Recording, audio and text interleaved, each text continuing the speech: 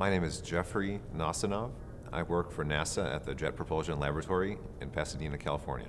In the mid to late 70s, NASA launched two spacecraft called the Voyager spacecraft. Their, their primary mission was to explore the outer planets. And after that was done, the, it, they got a secondary mission, which was to continue on to the edge of the solar system. Now, there are only two of these spacecraft, and the instruments they carry are 35 years old. So we have just enough data to ask 100 more questions.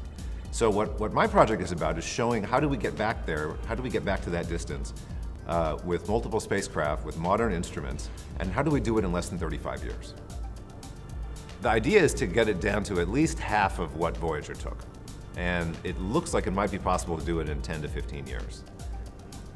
The traditional way of getting things out uh, that far in the solar system is to use what's called the gravity assist, which is where you send a spacecraft around a very, very large object like Jupiter, and that actually speeds up the spacecraft and it slows down the planet. It's a remarkable, it's a remarkable thing that nature lets us do.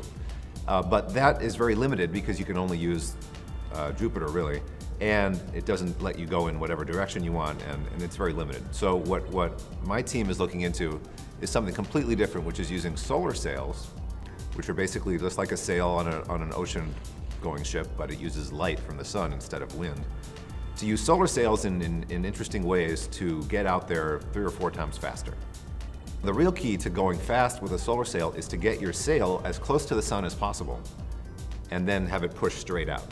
So there are some interesting ways of, of launching a sail, uh, sail-based spacecraft from Earth and then through some very tricky, tricky maneuvers, you get it very close to the sun and then the sun pushes really hard on it because it's very close and then pushes you straight out. So that's how you get very high speeds with a solar sail. For me, I'm, I'm in it for the really, really big picture, amazingly exciting stuff. When I think about my, my project, and, uh, and by the way, I didn't mention, but we, we would ideally have about a dozen of these spacecraft in order to explore in all, in all directions.